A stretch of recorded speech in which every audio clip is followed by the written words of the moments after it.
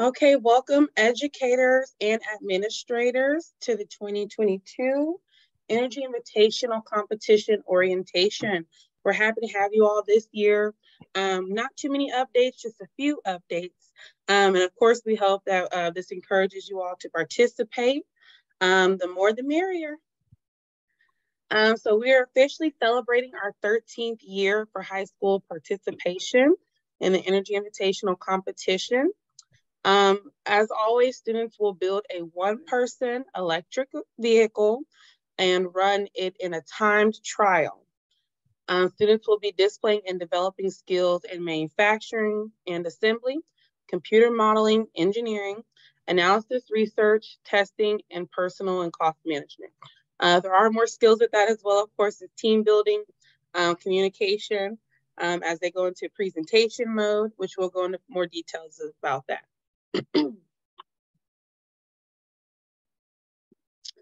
so specifically for registration, um, and please note the page numbers, uh, I will email out the packet along with the recording um, so that we have all information in one uh, go. Um, for the official registration, um, it has now been extended and moved to January. Um, so we ask that you do register by Friday, January 20th. Um, we will ask for, of course, your student information. So as you register, that's your email, phone number, of course, your district, um, and then your estimate number of students and teams. Um, so if you do feel that you have one team uh, registered, um, but then you may uh, have a second team that shows some interest, um, please let me know before the registration fees are due. Um, so if you have one registered team and then you again you have a second team maybe after January 20th, it's okay to email me or call me. I prefer you email me so that way it's on paper and we can get your registration count and uh, updated. Um, for all teams, you must have an administrator support letter submitted. That letter is also in your packet. Um, a teacher is not allowed to sign this paper to participate. Uh, it must be a, a principal, an administrative director, CT director, someone in your district that works above you. Um, so that way they are aware that you are participating.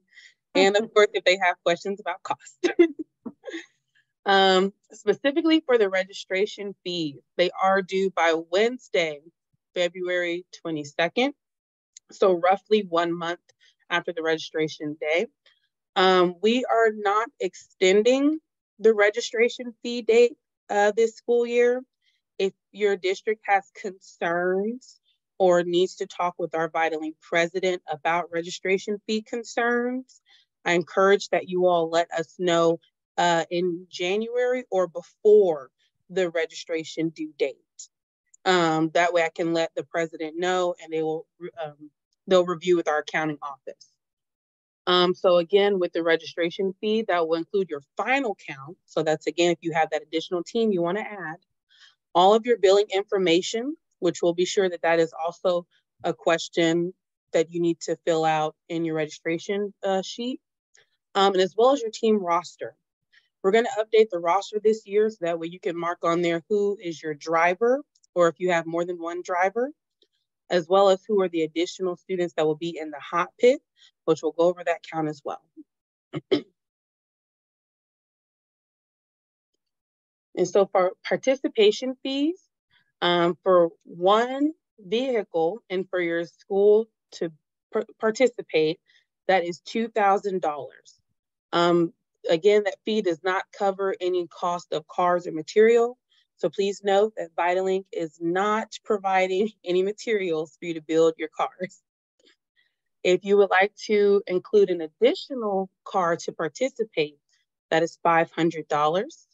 Um, so for example, if it's one school with two cars, that will be a total of $2,500. And again, all fees must be paid by Wednesday, February 22nd, end of day, of course.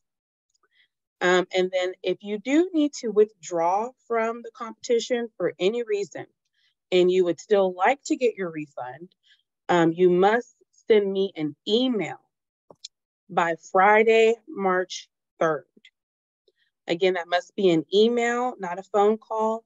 It must be in written format. That way we can forward it to your district to confirm that they're able to receive their refund if it's by that date. After March 3rd, unfortunately, um, you can still withdraw, but you won't be able to get a refund.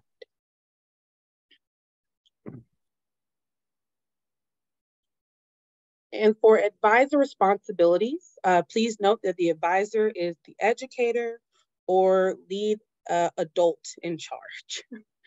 um, so the advisor, of course, must make sure that they have their administrative letter signed.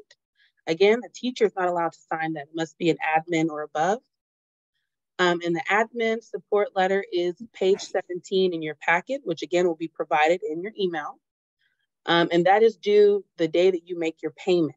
Uh, so at least uh, by or before Wednesday, February 22nd. Um, and if you have any questions on where to submit that, you can email that directly to Gabe. Uh, and Gabe Torres is here on the call.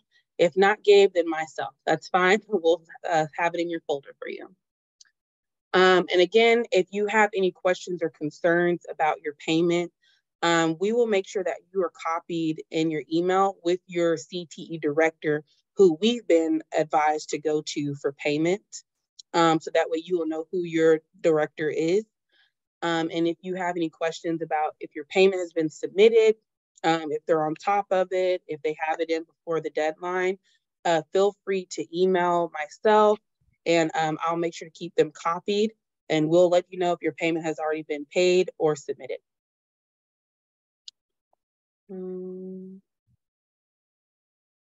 yes. And then to, um, and then specifically for waivers, um, and, and I'll have an example of these as well. Um, some of you might be familiar with our Vital Link waiver. So those are the media waivers. Um, so if we're allowed to take photos of your students, if not, that's fine. If their parents say no, we just give them a bright highlighter wristband. Um, we also will have a code of conduct waiver um, that includes that your uh, student has agreed that they will be well behaved throughout all of the uh, um, events. That includes presentation, safety inspection, and competition day. Again, if they do not abide by the rules, we will have to remove them from the competition. Um, we will also need, of course, copy of student health insurance forms if they're in the hot pit area, and the student who is driving, of course, a copy of their driver's license. Um, and then also the liability waiver, which I'm sure all of you are familiar with. It's the full long packet that we ask all students to sign. Um, and so we will have copies of those for you, which we'll touch on as well. Um, for the specific waiver that you must pick up, we cannot email that. Um, and I have a copy of those. I can take a picture and send you the front copy. I cannot send you the entire copy. Um, but you must pick those up from the Vital Link office um, due to that being a specific liability waiver that keeps your students safe. Um, this is in case any cars slip over, if a car catches on fire or anything else. Um, of course, we will have a medic on site, um, but that is a waiver that you must pick up in person. Uh, so as well in your email, I will send out a doodle uh, this is for educators uh, that you can select a time uh, and a date uh, between Monday and Friday, of course, uh, to come pick up your designated waivers. We would need you, of course, to register so that way we have the correct number ready for you to pick up.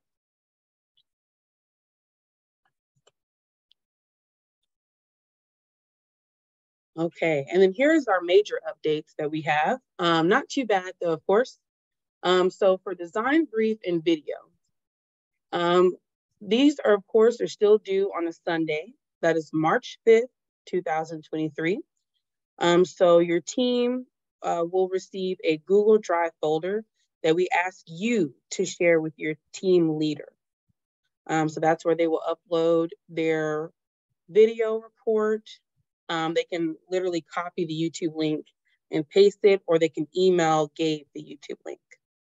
Um, that video report will uh, still needs to be between two uh, 50 or three minutes. Um, I do encourage you all to read through the packet in great detail so that we know what information needs to be covered in their video. Um, and that video presentation is now worth 50% Um, so we do expect professionalism for students to understand the information they're explaining. Um, so that way, if there are any questions from the judges, um, they are ready to go and they know exactly what they're talking about and they're confident, of course. Um, and then for the design PowerPoint presentation, students don't have to submit this in case they have any last minute edits the morning of, but it is worth 50% of the team score. Um, again, I do suggest reading through the packet. We have details broken down uh, for what needs to be covered in your presentations. That includes the video and the PowerPoint presentation. Um, uh, pictures are fun, but details um, are best. Um, if they do have pictures in their presentation, as long as the students are confident and able to explain exactly what they've added, that's perfect. Now for the design brief written report, it's still due. Um, as for this competition, district has asked us to have a written assignment. So we still have this due. There is no page limit though. So that's an update for you. Now that does not mean submit one page because um, this will be considered a tiebreaker. Um, so for example, on March 8th, when students have their presentation day, if a group and team, uh, if a team in group one presents and they receive 10 points, and a group in room three receives 10 points, then the judges will both review their written report. And they will go based off the amount of work, amount of effort, and explanation that they have given in those written reports to break the tie. If um, any students have questions about the written report or about their video presentation, please let us know and we will get you all in contact with our task force so they can review with you in greater detail. Um, again, the pages that we asked you all to review for those details is pages 9 through 16 in the packet that we'll send you. And that will go over the specific design review points, how to organize and uh, review the guidelines, the specific design presentation rubric, which the judges will be using, as well as the points for the technical inspection. And again, please save the date for the presentation day, which is a Wednesday, March 8th via Zoom from 9 a.m. to 12 p.m. Uh, teachers do not have to be on this Zoom call. However, we do encourage that you make sure your students who are on the teams and ready to present are ready and available. In case they're in another class, please send a note to the principal or counselor that they are available and ready and that they are on a computer ready to present. You'll rec uh, receive reminder emails as well, weeks in advance, the week before, and the week of.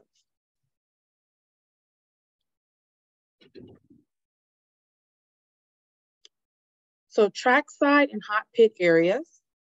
Um, so we've just updated the name, uh, trackside area, which is previously the cold pit. Um, again, this is where your teams may be in their, um, under their tent, working on their cars, making some updates. Um, all students that are participating in the competition, and specifically in the cold pit area, must have all signed waivers um, and the liability forms. Um, those are the signed insurance forms in case there's an accident that happens in the trackside area. For hot pit area, please note, no more than five team members. That includes the driver. Um, if you can also let parents know this. Um, this past competition year, uh, we had a few parents that were concerned uh, about their students not participating in the hot pit side. Um, and so if you have any parents that want to assist in this competition, um, please make sure they're aware of the rules as well. This is for their safety and for the student's safety. So again, no more than five team members, including the driver and hot pit area as they enter the track. Um, all students, again, even in hot pit area and trackside area, must have all waivers and signed forms. Any member entering the hot pit area must have a submitted copy of their health insurance card. That means they can literally take a photo and email it to us ahead of time, or they can have that photocopy available the morning of the technical inspection day or competition day ready to submit to us. The driver specifically must have a copy of their driver's license and their health insurance card. It must be a driver's license. There's no exceptions. Students will be given wristbands the morning of the competition to identify which area they're allowed to enter. We will have Vital Link staff as well as volunteers monitoring which wristbands are in which areas so we don't have any students or parents entering the hot pit area during race time. For technical safety inspection, please note that is a Saturday, April 22nd, 2023. This is two weeks before the competition date. All emailed waivers, liability forms, copy of health insurance, and driver's license must be um, sent over or available by the technical safety inspection day, which again, that is April 22nd. For educators, is the gentle reminder please be sure that you email me or contact me as soon as possible after you register and review with your admin the day that you would like to come in and pick up your specific waiver and insurance forms. Again, I will send a doodle out as well if that works better for you through email. Um, again, these waivers are mandatory for any student to participate, even if they're in the trackside area. Um, and the technical safety inspection is mandatory for teams to participate in the competition. Failing to attend the, the technical safety inspection will disqualify the team. Um, if you need to reschedule due to your team being unavailable, please let me know. I will put you in contact with the judges and it will be on your terms to set the date to complete your technical safety inspection. There is a specific sheet in your packet from pages 14 to 16 that the inspectors need to sign and complete, and you must hand to the Vital Link team on the day of competition for your team to participate. If you know of any specific dates that might restrict your team from participating, please let us know by registration date, which is again, January 20th.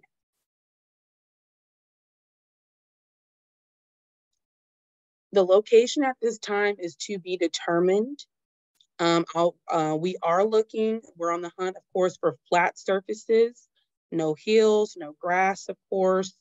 Um, if you all have any suggestions or seen anything that is affordable, feel free to email it to me. We'll be happy to do some research.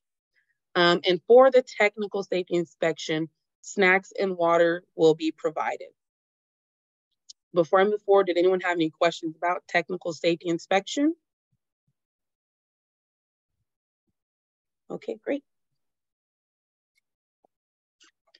All right, and then specifically for competition race day, this is a Saturday, May 6th. We're asking for all teams and their vehicles to arrive at 8 a.m. This will allow you time to drop your cart under your tent, as well as complete check-in. All cars must be signed off during technical safety inspection in order to participate. And again, Vital Link must have that specific form signed by the judge and in hand for your team to participate. That'll be for each car that is participating from your school.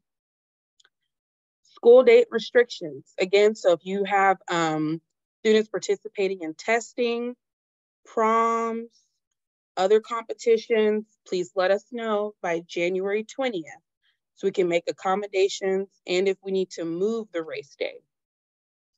And again, for morning for check-in, Vital Link student waiver forms, copy of health insurance, driver's license, our goal is to have the location confirmed by February, so that way you all are prepared and ready. Um, and of course, in Orange County. We will have breakfast snacks, lunch, and water provided on competition race day.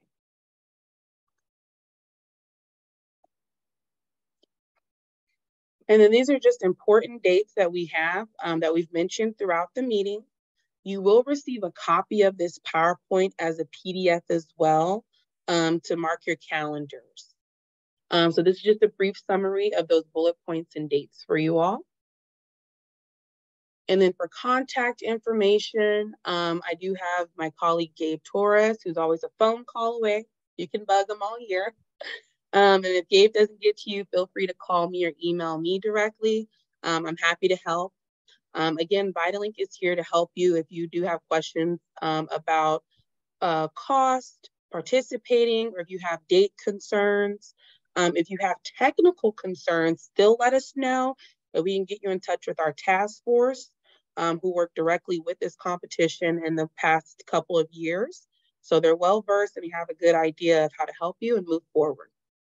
Um, I do want to note as well this year, mentors are not required. Um, but if you do have a mentor, feel free to work with them in your free time. Um, also, if you have a mentor that you want to participate in the presentation day or on the race day, uh, put them in contact with me so we can get them signed up and we can review their part in the competition.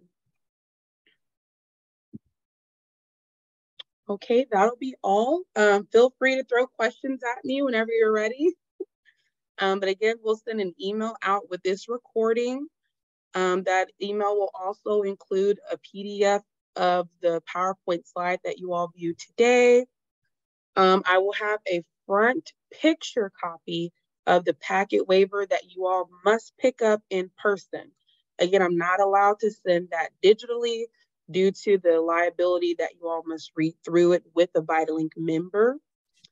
Um, and I'll also send out a doodle, um, which is just you selecting which date and time work best for you to come pick up your number of packets after you register. So I wanna make sure I have all the copies that you need for your team.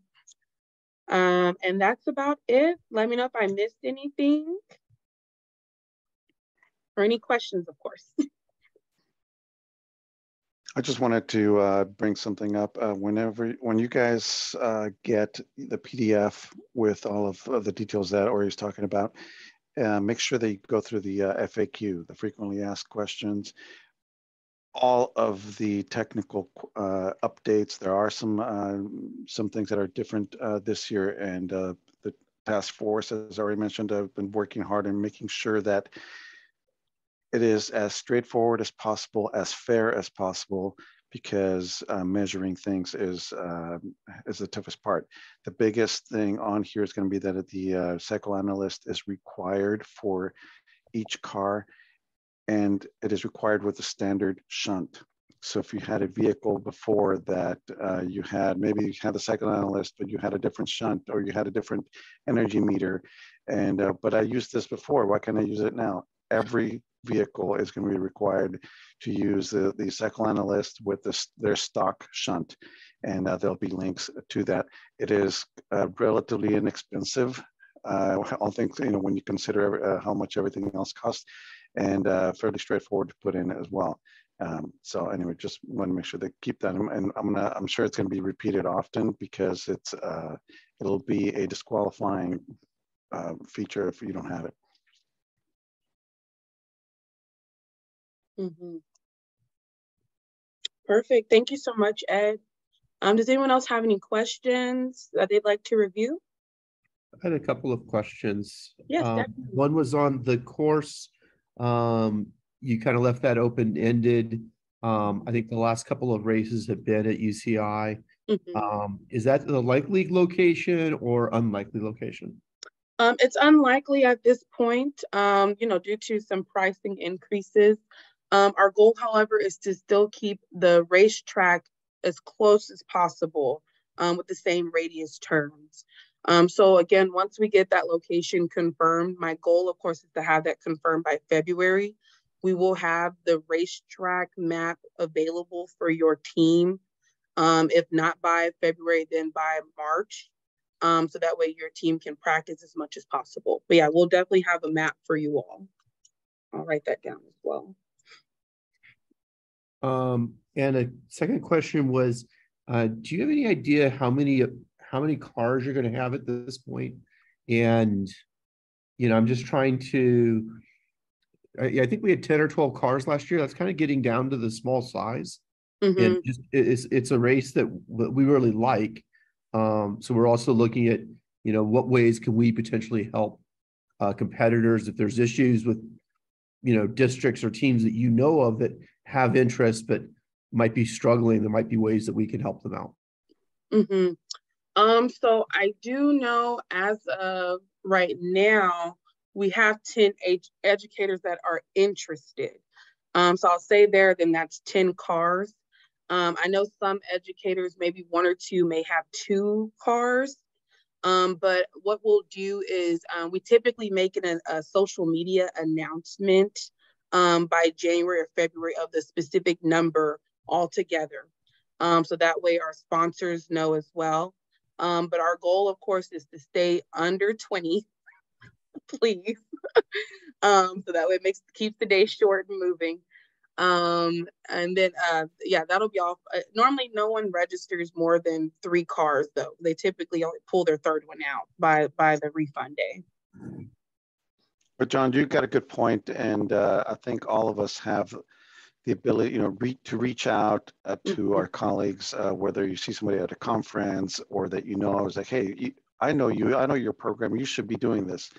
Um, especially if, if we've done it before, uh, I've had people uh, come by and they get over, uh, they feel overwhelmed. Oh my God, we can't have this within the time frame, mm-hmm. and mm-hmm. and and that's fine if they, if they truly feel that way. But it'd be great for them to go through the whole process or as much of the process as possible, so that we can build it for for next, you know, have them uh, on the hook for uh, for next year.